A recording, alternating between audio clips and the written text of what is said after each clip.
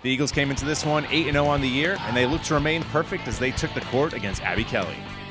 The first set was a struggle for AMSA. They weren't sharp, and because of that, the Bears hung around all set and at one point even led 18 to 17. But the home team would settle down and eventually take the set 25 22. The second set started out like the first. The Eagles would start slow and find themselves down 7 to 4. But again, they'd right the ship behind strong play at the net from Elizabeth Powell. AMSA would go on to take the second set 25 10 and take a two sets to none lead. And the third set also belongs to the Eagles as they take it 25 to 11 and defeat Abby Kelley three sets to none. AMSA stays unbeaten at 9 0.